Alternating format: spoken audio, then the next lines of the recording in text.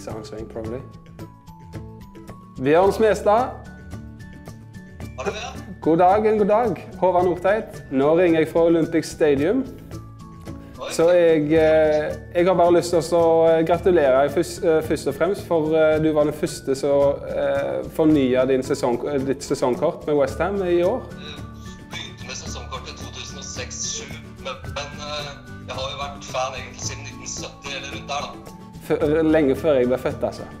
Ja, ikke sant? Jeg tror at neste kampen for min del blir mot Tottenham 6. mai, eller om den blir flytta, vet jeg ikke, men den helga der. Stemmer. I alle fall, Da skal vi klare oss å organisere at du, eh, du får en, eh, en rundgang på stadion her. Og eh, forhåpentligvis så klarer jeg å møte deg i person. At det er jeg og dattera mi som har seter ved siden av hverandre. Ja, Så jeg har fått håp om å få med hun på tur nå, da. Så da håper jeg kanskje det er greit å dra med henne òg. absolutt. Det er ingen problem.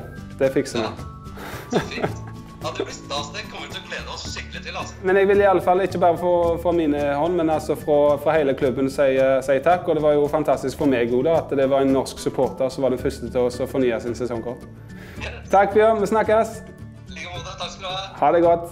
Ha det. Thank you. This was Harvard Northwide FaceTiming with a Norwegian supporter.